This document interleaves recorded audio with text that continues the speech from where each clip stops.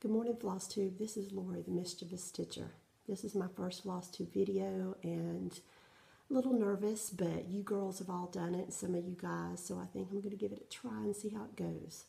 Um, I've been a stitcher since I was around 13 years old, maybe a little before, um, due to a church group they called it the time was Girls in Action. Uh, we got together once every Friday and did different crafts, and of course, um, I got turned on to cross stitching and have been stitching ever since. Um, recently, I have been posting to Instagram. Um, I changed my name to the Mischievous Stitcher because I had plans of taking a step towards floss tube with all of you guys. Um, and I have been working on the tapestry sampler. I have joined the Stitch from Stash group on Facebook, and I have wanted to do this piece. It, I think the uh, copyright on it is 1995, and I have wanted to do it that long, but for whatever reason, haven't, but it's been in the back of my mind. So I'm going to show it to you real quick. This is the pattern. It's by um, Pat Rogers, and as I said, it's been out since 95. And this is where I am so far. I started it on the 1st of January. Um, other than a few nights, I've been working on it every day for a few hours after work. Um, here's where I am at the moment. I love the colors. They're very 90s. Um, but it's still a beautiful piece. Um, I typically use Q, Q snaps with um, my pieces and um, I like to keep it kind of taut but not too too taut that it distorts the fabric. You know, some in the past I've had pieces that's been distorted by how tight I keep my fabric to the frame. But here's this piece that I'm currently working on. Um, I also work on a piece for work at lunch and it is one of the JBW designs and I'm actually kind of playing with it. Um, is it JBW? Yes. It's Birds and Berries Antique Sampler. I think it's very pretty. Now my kitchen, I have lots of grapes and several pieces on the wall that are in the greens and the purples. And at first I thought I'd go that way, but um, been to different retreats and have picked up various um, threads as goodie bags. And this was one of them, um, Curious Creations, um, Hand-Dyed Floss Night Storm. It's like a purpley blue. It's very pretty and this is a Valdani and this one is Primitive Purple. Um, this is the other one and this is the one I'm using and what I'm doing is um, I've just started so there's not much there um, that's the back but here's the piece and this is over two this line but this here is stitched over with one thread over two and what I'm doing is I thought I'd do a piece and just kind of variegate um, using the two strands, using the one strand. I may do some over one just to kind of see how it looks with it being such a small piece. And forgive me, I, I keep wanting to look to the right when the camera lens is to the left. Um, what else? Um, like I said, I'm, I'm joined the stitch from Stash, but what ended up happening with that is I thought, let me accumulate all I can that I'm is on my wish list for one, two, three by the end of the year before I go on a stitch diet. So I ordered these, which are the Fragments in Time by Summerhouse. And I've got A, B, C, D, but the whole alphabet isn't here. Um, I've looked a little online to kind of see um, what others are doing with these pieces. I had a mind after seeing Vonna's um, ABC houses from Little House that I was going to do this in the same way on one piece of fabric, but then when I realized that some of the letters are missing, I'm not sure if um, more are going to be released or if this is it because when you look at the description it says it's fragments in time, fragments of samplers. So I'm not sure that that's going to happen, but I've got them just in case. I also picked up with the fabric, but not the threads, of heartstring samplery instead of sheep. I love this design. I have many of hers. Um, I've only stitched a couple. Um, but I just, I love the quirkiness um, that she has in her samplers. Um, and I hope to, this will be one of the ones that I, I stitch this year. Um, it does call, I believe, for sampler threads, or no, it's Classic Color, Color Works. Um, and I do not have those yet. Um, I do not have a local shop. My closest shop is in Lexington. I'm from South Carolina. So it's in Lexington, South Carolina, which is around an hour drive for me. But I do have a stitch friend up there that I can meet. Hi, Natasha. and um, I look forward to going up there, seeing Natasha, and visiting the shop. Um, also, um, I had something framed last month and it is a freebie piece actually that came from Plum Street Samplers. I want to say in Christmas of 2015, and several people were stitching it online, and I, I picked it up and did it um, quick stitch, didn't take too long at all. And um, this is the piece here God with us. Um, I'm not sure how this is going to come out with editing because I've not done this before. Um, but what I see it's showing up backwards. but it does say God with us, and I really love it. And I love how the frame picks up the colors and the sheep, the grays and the, the taupey colors. But um, I, I, am not sure where I'm going to hang it, um, but I'm very happy with the framing. And I did drop off another one yesterday. Um, it was an old Britter Cup design, and I think it was the Elizabethan sampler. Um, I really love the English history.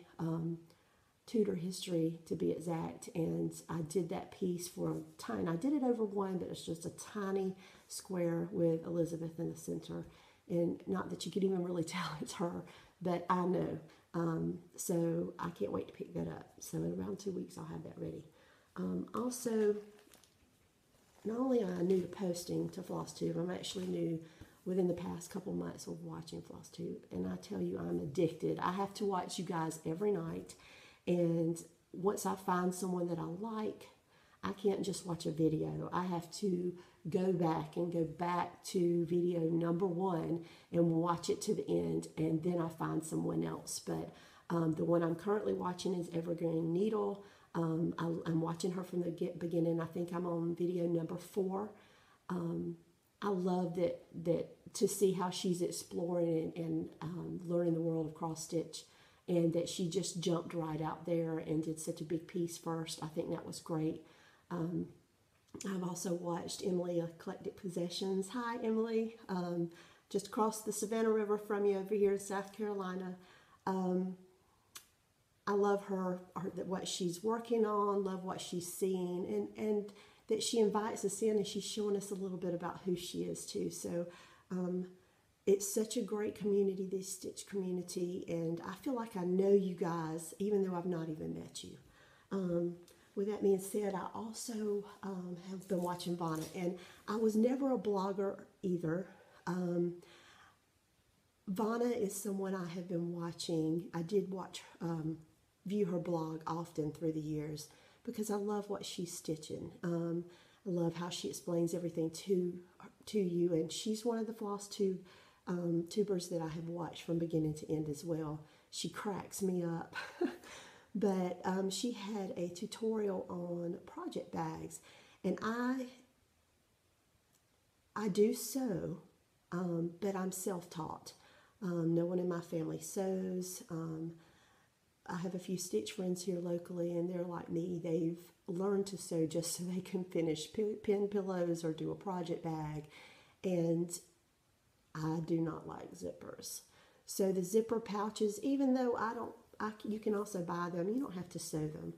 I found that the couple that I did make, either I, I, I was probably just not making them large enough, but sometimes my zipper would catch the end of the pattern or maybe a, a corner of the fabric because you know I keep it on the Q-snap and put it inside. And and when I saw her video on the project envelopes, I couldn't wait to give them a try. So I've made a couple of these for my Stitch from Stash this year. I'd like to make one each month and, and kind of coordinate it to what's going on in that month. But I'm going to show you what I've made so far. Um, the first three were Christmas, and I was just learning at this point. Um, I didn't do it exactly as Vonna's um, tutorial, the first one I did, but the others I kind of modified to what I needed. And um, this was my first one. I got the fabric from Joann's, and I just love this fabric.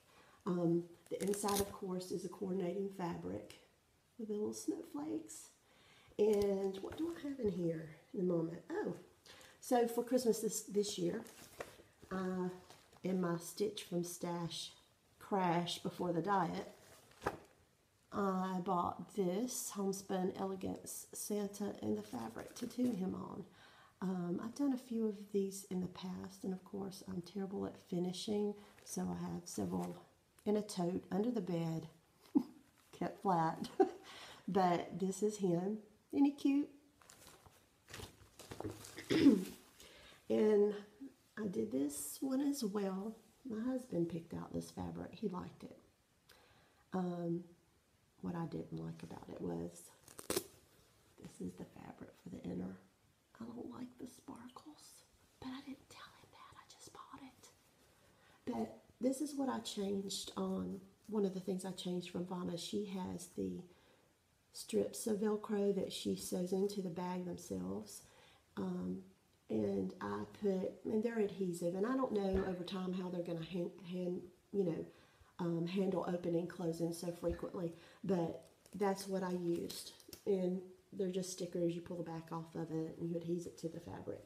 And the other thing was, let me see, this is the one that I first did. I love this fabric too.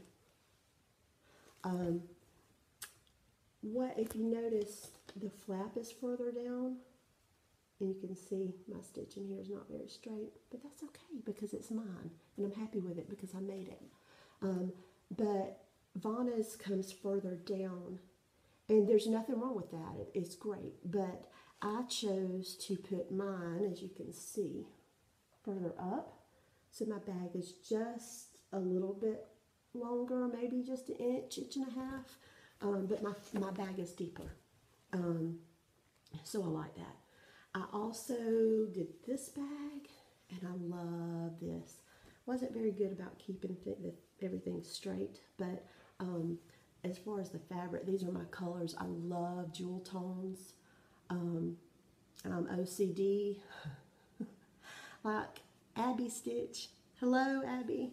Um, I'm the same way. Things have to meet up, um, or my mind plays tricks with me. Um, but that's why I love this fabric. I'm going to show it again. I love the way this looks. And I have one other.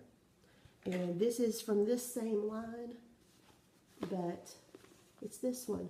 Now, you see, my dear, I didn't pay attention. But I love this too. Once again, jewel tones and just a plain on inside. But isn't it nice? But that's all I have to show you today. I just wanted to check in with you and say hello. Um, not sure how this is going to go. But um, I get so excited to see your videos and see what you're working on, and um, I love the that you know listening to you guys talk about fear of missing out, the FOMO. Um, I've done that a couple times. I see everyone. The thing that I see right now that is drawn to me is, of course, Death by Cross Stitch. I see so many of you stitching it, Abby and Emily and the color combos, everyone can stitch a totally different piece by just switching up the, the thread colors and it's just gorgeous. Um, I've also got a couple Courtney collection pieces myself. I see many of you stitching those. I do not have the, the mask, um, but I have several other pieces and I did not realize, you know, because I didn't pay close enough attention how large those pieces are, um, but they're still beautiful. But I won't hold you anymore. Um, about stitching, I'm just going to tell you a little bit about myself. I am a mother of three and grandmother of one, sweet little Canaan James. Um, he is eight months old now, um, sweet as he can be. Um, I do have a full-time job. Um, stitching is my part-time job. Um, you know, stitching forever, housework whenever, whatever that saying is. Um, so with, you know, I try to stitch maybe an hour each night, and usually I have my iPad on, um, watching you guys or, or listening to you guys, it, depending on what I'm stitching. Um, in the background as I'm stitching. So thanks for joining me every night. Um, I look forward to seeing your videos and hope you enjoy mine. Um, have a great weekend and see you soon. Bye bye.